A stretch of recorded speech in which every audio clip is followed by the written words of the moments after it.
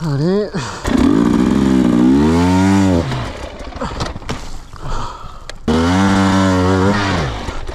Hop.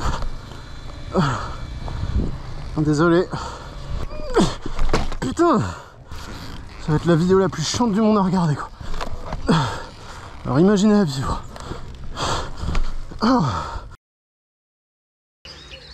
On part direction Alès euh, pour une nouvelle course pour moi, une nouvelle discipline, l'Alès-Trem, donc une course d'enduro extrême. Alors on va découvrir un petit peu ce que c'est euh, ensemble. Euh, je pars avec une KTM 250 EXC, donc un deux temps. C'est une moto très bonne pour ce genre de discipline. Elle a été préparée. On verra tout ça. Pour le moment, la première étape, c'est de se rendre au pôle mécanique d'Alès.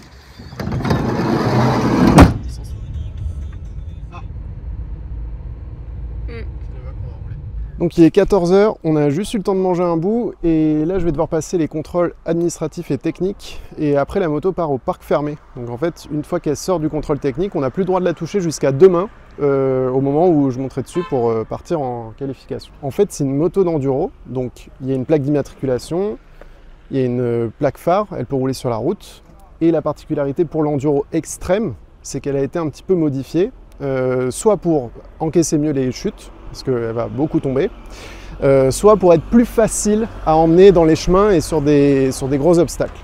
Donc si on va d'avant en arrière, donc on a changé les pneus, on a mis des pneus euh, Metzeler, des extra soft pour l'enduro. On a mis une protection là pour le pied de fourche, donc euh, au moins ça n'arrive pas la fourche. Le freinage il est d'origine. La plaque phare, on a mis un feu qui éclaire un peu mieux. Normalement, je ne devrais pas rouler de nuit parce que la course se termine à 18h. Mais bon, c'était pour l'entraînement et tout ça. Je m'en suis pas vraiment servi, mais au moins il était. Euh, il y a une sangle devant pour tirer la moto. Si jamais je dois me faire aider et, il y a des endroits un peu difficiles, bah, il y a un endroit où accrocher la moto à l'avant. Les suspensions ont été préparées par 442. Donc la préparation suspension, c'est intéressant parce qu'en fait, il essaie de les rendre plus souples que l'origine. Le but, c'est que la moto encaisse davantage et surtout que les roues soient plus facilement collées au sol pour avoir de l'adhérence.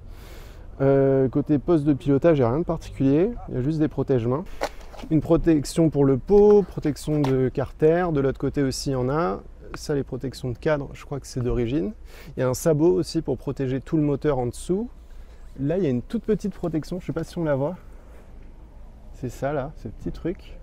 On a mis une démultiplication plus courte aussi. On a enlevé une dent au pignon de sortie de boîte parce que ben, c'est pour aider la moto quand on part vraiment à l'arrêt qu'elle soit un peu plus réactive. Euh, protection bras oscillants, euh, un patin de chaîne aussi un peu plus gros, un peu plus solide, parce que là ça peut souvent s'accrocher dans des rochers ou des trucs comme ça. La chaîne aussi, on a mis un rivet plutôt qu'une attache rapide. Normalement sur les motos de tout terrain, c'est une attache qu'on peut enlever juste avec une pince et remettre facilement. Euh, là, ça peut arriver qu'il y ait une pierre qui se prenne euh, qui coince un petit peu la chaîne et du coup ça pourrait ouvrir l'attache rapide. Donc on en remplace par un rivet. C'est abusé tout ce qu'il y a dessus, ça sert vraiment. Enfin bon, c'est de la confiture au cochon, mais c'est comme ça. Euh, une selle euh, avec du grip pour aider à mieux se tenir sur la moto. Il y a beaucoup de moments où on est assis, posé sur la moto pour essayer de lui donner de l'adhérence. Donc normalement ça va m'aider à moins tirer sur les bras. On a mis un pneu très très souple, c'est un extra soft. Donc regardez on peut tordre les crampons à la main, c'est vraiment tout mou. Et dedans, il y a un bib, donc c'est de la mousse, c'est pas une chambre à. Alors, le bib est peut-être un peu dur, il aurait fallu que je roule plus avec la moto pour qu'il soit vraiment le plus mou possible. Et comme ça, le pneu s'écrasera encore plus facilement et j'aurai plus d'adhérence. Parce que, bah, en fait, vu qu'on va rouler tout le temps doucement, on n'a pas besoin d'avoir du support du pneu arrière. On veut vraiment qu'il s'écrase et qu'il donne de l'adhérence. Euh, encore une protection ici silencieux à Krapovic. Ça sert à rien à part faire une belle moto, euh, en tout cas à mon niveau. Et un amortisseur euh, WP Trax, ça c'est très très très très très bien. Ça aide vraiment à avoir encore plus d'adhérence. Où en fait on va essayer de faire en sorte que dès que la moto, dès que la roue arrière décolle, elle va être ramenée près du sol le plus vite possible pour que la moto tracte. Euh, on a rajouté un ventilateur aussi pour que la moto refroidisse plus efficacement. Et je crois que c'est tout. Je crois que j'ai rien oublié. Mais ça fait quand même beaucoup de choses, euh, en particulier pour quelqu'un comme moi qui n'est pas le niveau pour exploiter ces motos-là. Mais, ça, va, ça devrait me faciliter la vie, donc euh, je prends quand même. Maintenant, euh, contrôle administratif, contrôle technique. Et il faudra dire au revoir à la moto. Il faudra la laisser toute seule toute la nuit. 457. Voilà votre pack. Ok, merci. Il faut continuer à faire la carte de transpondeur avec. Euh, à prendre votre chèque de caution alors.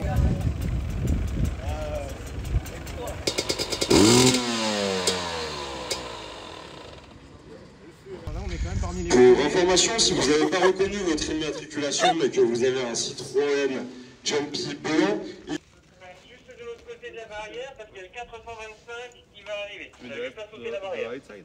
Bon, là, on était parmi les premiers euh, à avoir passé les contrôles administratifs et techniques. Donc la moto est passée. Je suis bien engagé.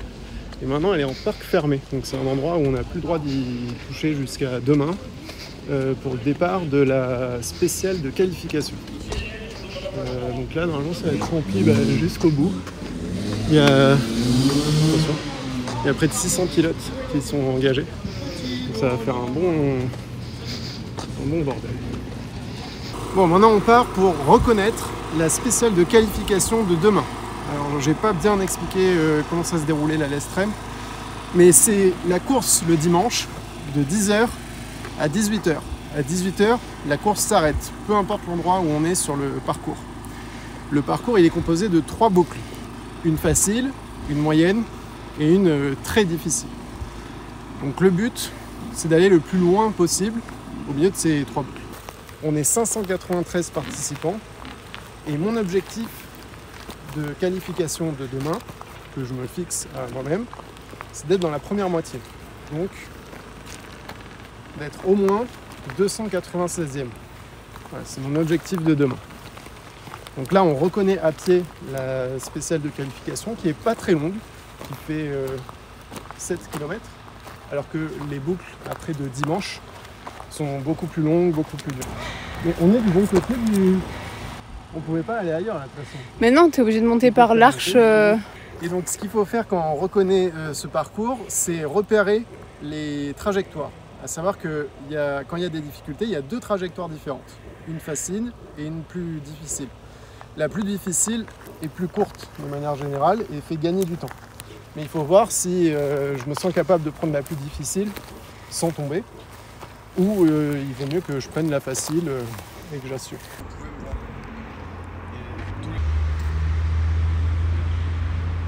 Donc là, on a deux passages. Il y a le soft, où c'est un passage du coup où ça redescend là gentiment. Et après, faire un grand tour pour revenir. Ou le hard, où ça descend directement là, mais c'est très raide.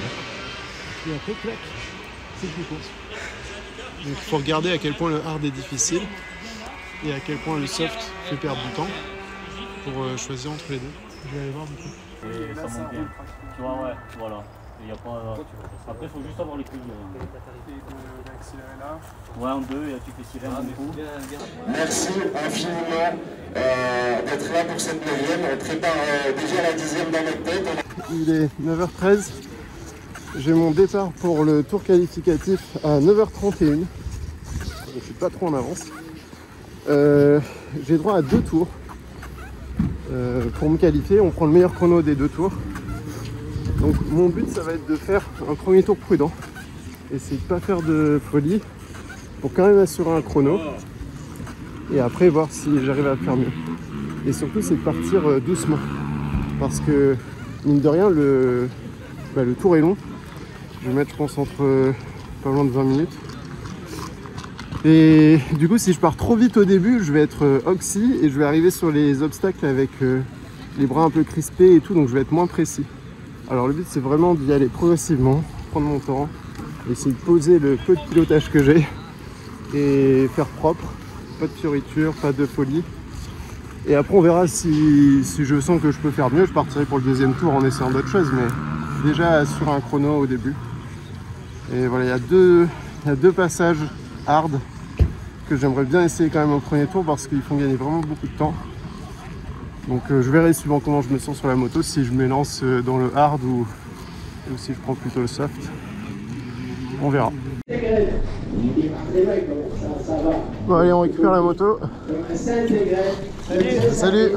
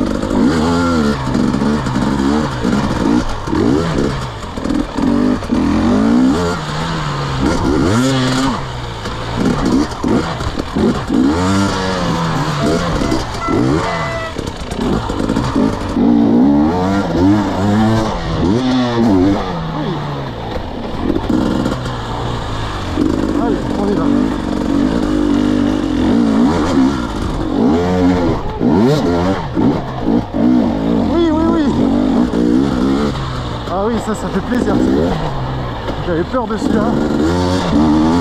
Bah, c'est tout seul. Merci la moto. hein.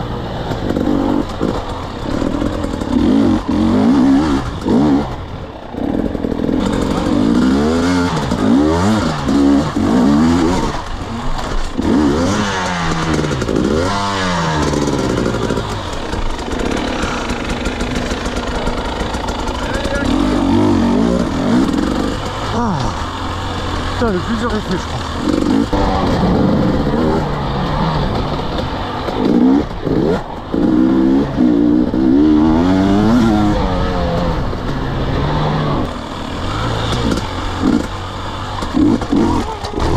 Non, non, non, non.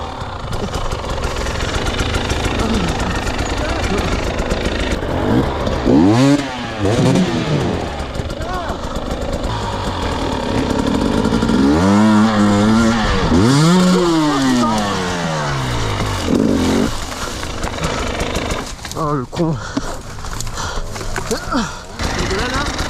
C'est bon, je pense qu'elle sort.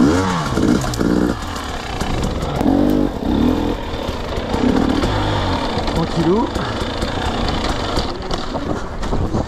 Et ben voilà, c'est déçu.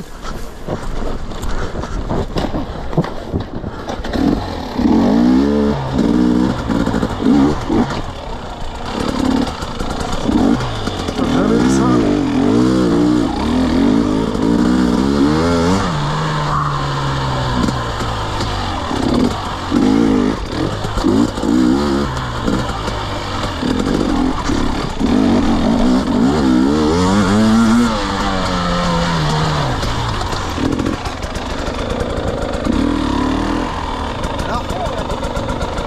Ouais, ça va.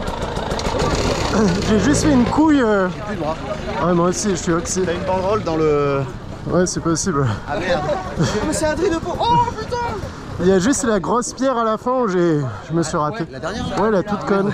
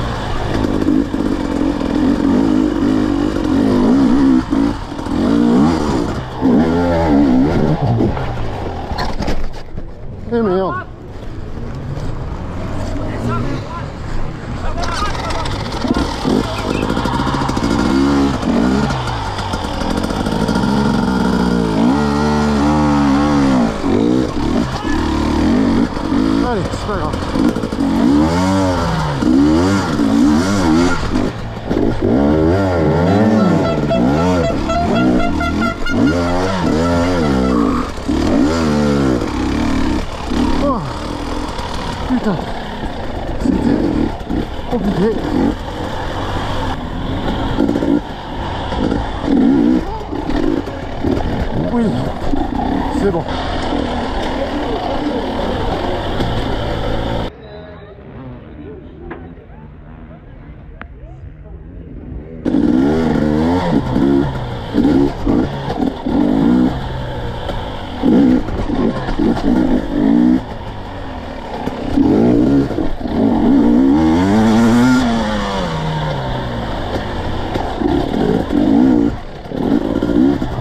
Non, non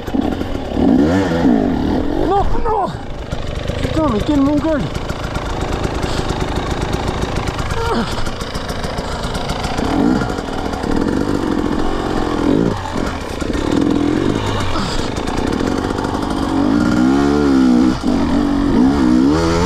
Je suis tombé là T'as pas vu. Mais non, Oui. Mais non. Parce que ça passe pas, là, j'arrivais pas. À 12 mètres de la ligne d'arrivée, j'ai pris l'ornière de travers, boum, Ah ouais. Comme un moment. T'es couché sur le talus. Oui, que je prépare ma moto pour demain. Parce qu'on la laisse là jusqu'à euh, demain matin où je partirai faire la course avec Juliette.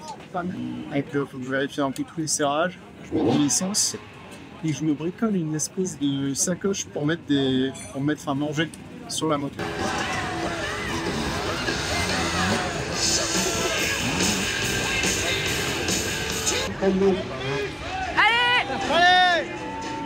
Et Luno Alors, qui ça peut être On se pose la question. Bien sûr, c'est Mario Roman qui est...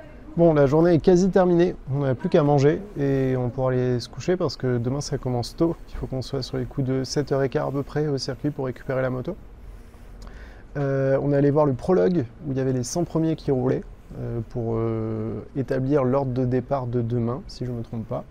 Et c'était assez impressionnant, c'était cool. Au milieu de la ville d'Alès, c'était top.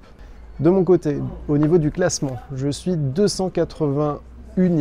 L'objectif c'était 296e pour être dans la bonne partie du classement, dans la bonne moitié. Euh, malheureusement, il y a moins de pilotes que prévu qui sont engagés, en tout cas qui sont classés. Il y en a moins que des pilotes engagés. Je ne sais pas trop ce qui s'est passé. Mais on est 513 et plus 593. Donc ça me fait passer de l'autre côté du classement, dans la deuxième moitié, à 25 places près. Donc c'est pas grand chose, mais c'est quand même la mauvaise moitié. Donc euh, je suis un peu déçu. Mais c'était quand même une journée intéressante. J'ai appris notamment que c'était très dur, effectivement.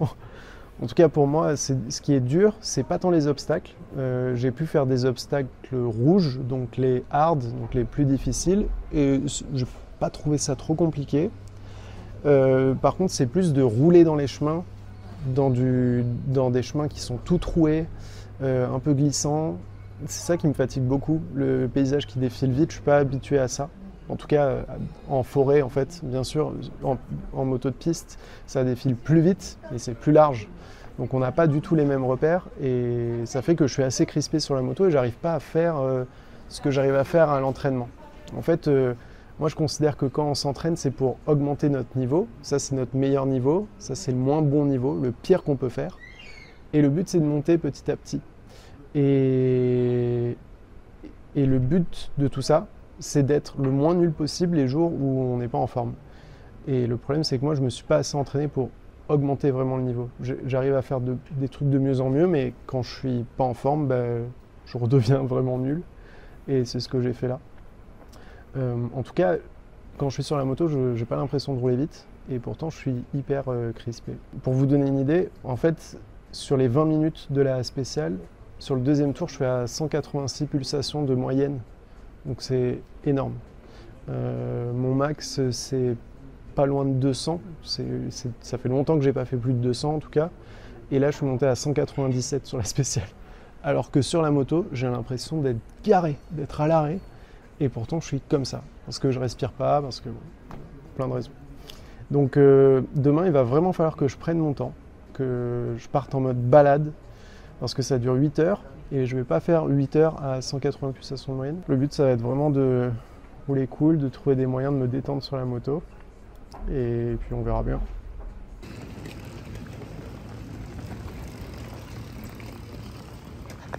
Là, ça fait chaud au cœur, on a une belle météo. Faut profiter, mais s'il vous plaît, écoutez tout ce qu'on va vous dire. Okay, welcome to the main race. Maintenant, tu t'agrippes dans ton pied, il est déchiré.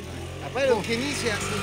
Il est un peu plus de 10h et je dois être à 10h20 entrée grille. Ouais, il faut pas tarder. Ah, faut pas tarder. Il Et après, mon départ sera aux alentours de 10h50, donc euh, bah, il est 10h20, donc je dois y aller. Et je pars pour faire le premier tour, et à la fin du premier tour, je passe là. C'est-à-dire que c'est là qu'on re-rentre dans le parc. Donc je m'arrêterai ici pour euh, mettre de l'essence, vérifier la moto, remplir mon camelback, poche à eau euh, par laquelle je vais boire, euh, reprendre de- des bars euh, pour manger. Je m'en suis mis plein sur la moto. Là-dedans, là, un petit truc et je peux me sortir les barres et, qui sont déjà ouvertes. Tac. Et voilà. Je sais pas du tout ce qui m'attend, mais et je vais y aller.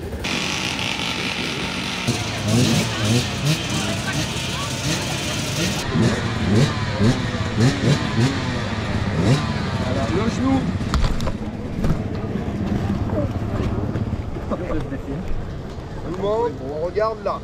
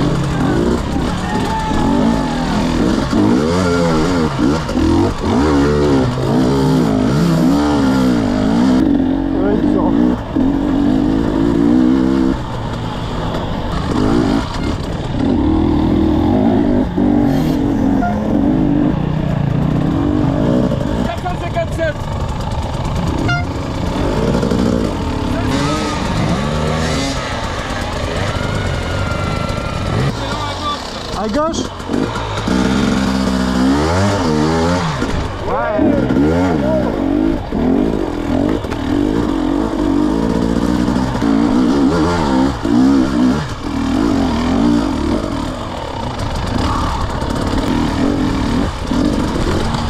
Oh putain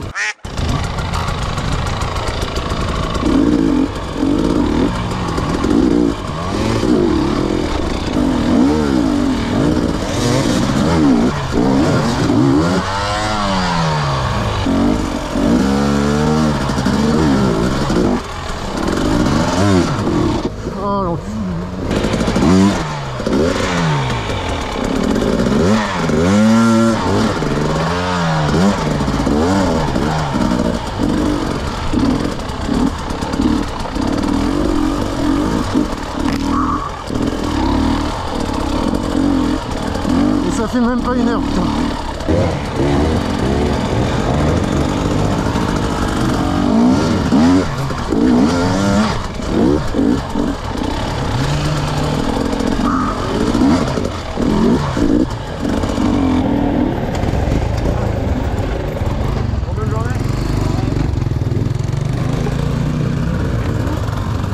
Merci.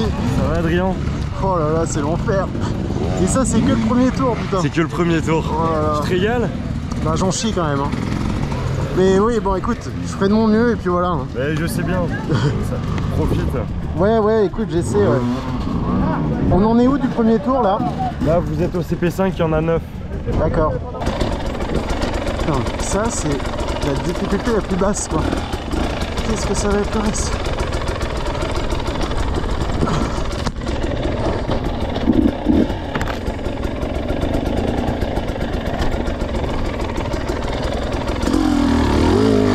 Il y a tellement d'obstacles que j'ai vie.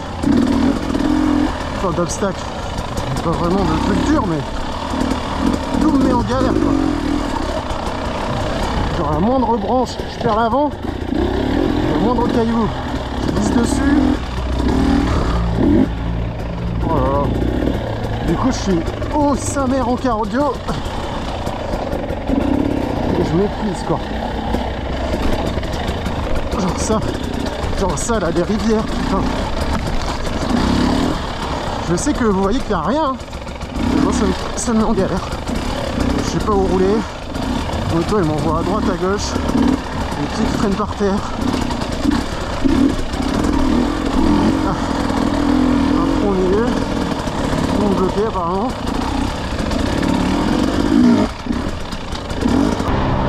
Bientôt le cap des 25 km et des 2 heures. Bon là apparemment il y a un bouchon. Il doit y avoir un truc dur. Comme il est passé là tout droit, tu tires droit. Sur la pierre Ouais. Entre les arbres sur la pierre, tu tires droit, ça t'y amène.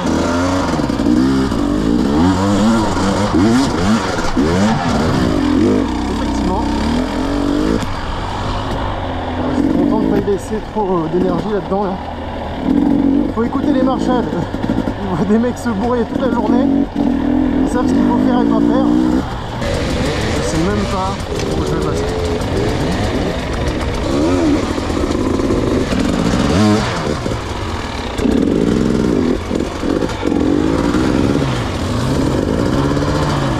Où je vais, là.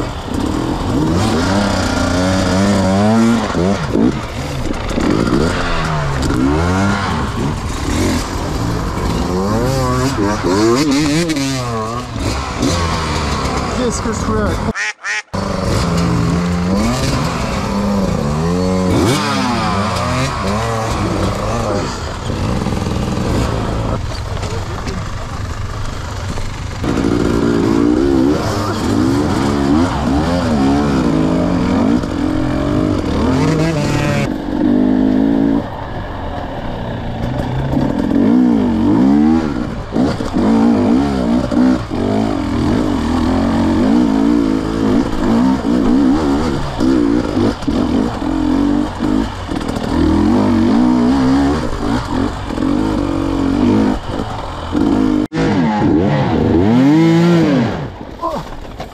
Ah putain. Ah. Ah, ok. Oh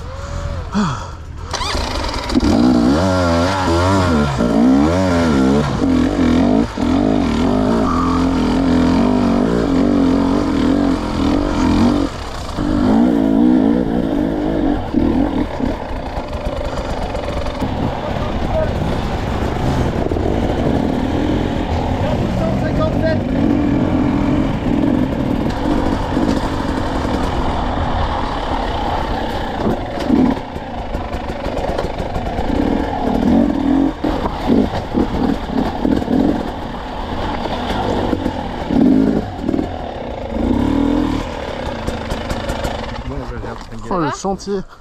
quoi? Le chantier. Ça va? Ah oui. Bah tour 1, c'est le plus dur des obstacles que j'ai jamais fait à l'entraînement. Donc il y a déjà des trucs, euh, je sais pas comment les faire. Comment T'as l'air bien? Non? Ouais, il y a des moments où je suis vraiment dans le dur. hein. Ouais. Je l'ai jeté une fois, il y a la pédale de frein qui est tordue. Ah, je vais te la détendre. Donc là, il y a encore un tour. Tu remets un peu d'essence, c'est ça? Ouais, essence, j'ai tordu la pédale de frein parce qu'à un moment, la moto, elle m'a échappé, elle a fait, elle a fait un salto. Et. Bon, Je mange un peu. je vous aide à remettre de l'essence? Ouais, ouais, volontiers. C'est quasiment le feu.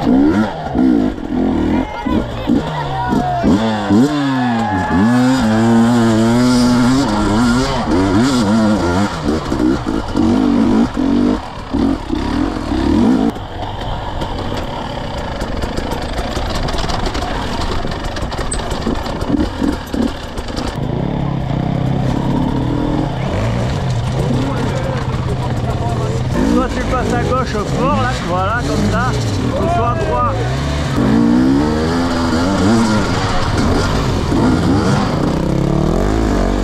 À gauche ou à droite Tiens, ah tiens, à gauche là où il.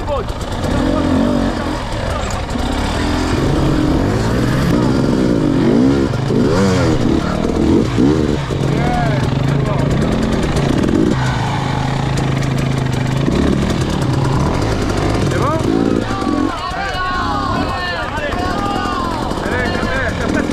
Gauche À gauche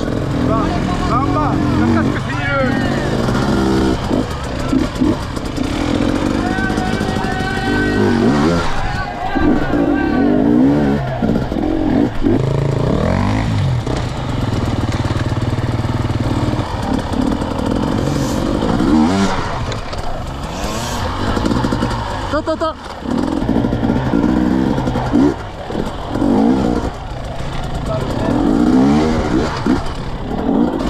Putain, merci le trial là.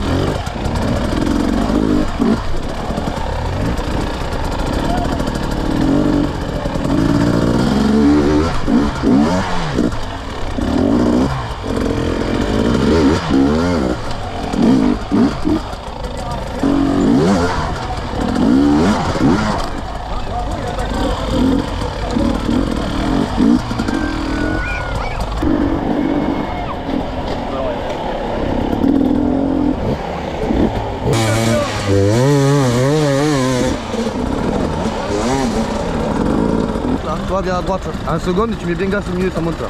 Au milieu. Ouais, là, tu passes ça là. Là où il y a, Où il y a le la pierre. Voilà, où il y a la pierre. Prends comme ça, après tu prends à gauche avant. Allez. Merci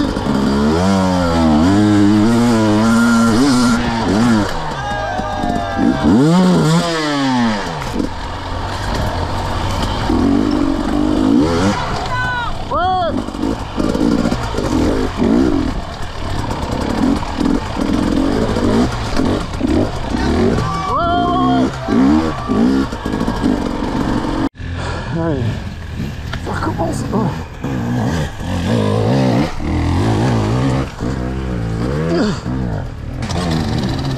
Ça va, merci. Me suis mis en volume là. J'ai l'impression qu'il monte en première. Moi je suis parti en deux en essayant de mettre du gaz. Je l'ai perdu d'entrée.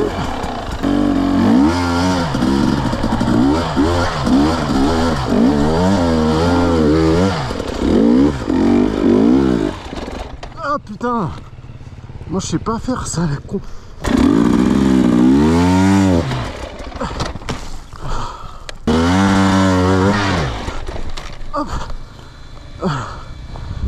Désolé. C'était le seul moyen que je passe ça là.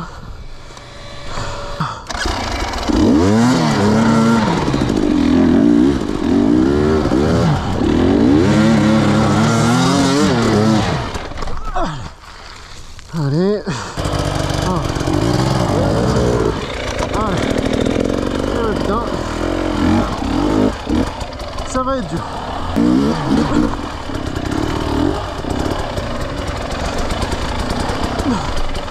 Hop.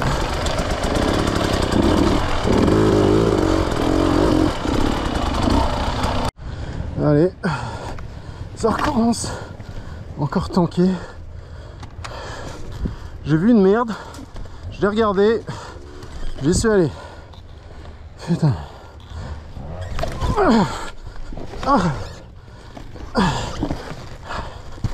Bon. Allez. Ah putain. Je suis cogné. 1, 2, 3. Putain Ça va être la vidéo la plus chiante du monde à regarder quoi. Alors imaginez la vivre. Oh.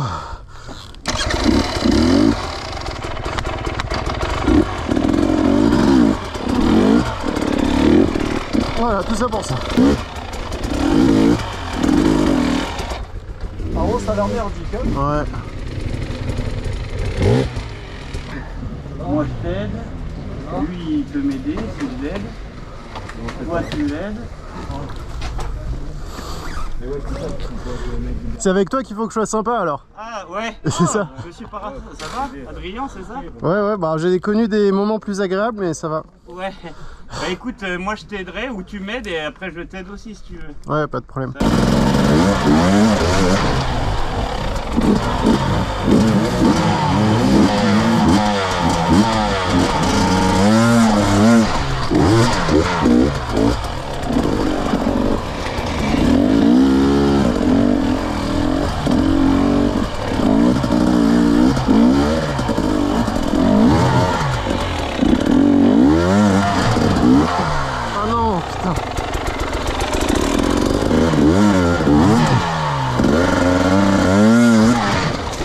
Hop là. Ça y est, suis un vrai putain d'Andris. Jette sa moto.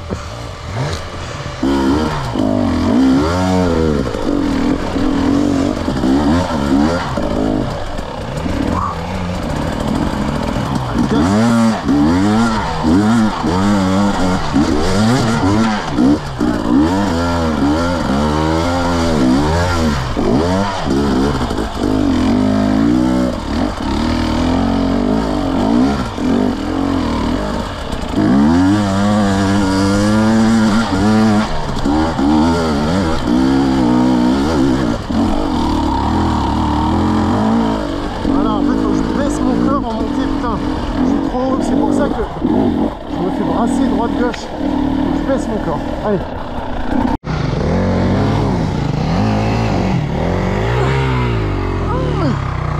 Voilà, un peu déconcentré. C'est la cata.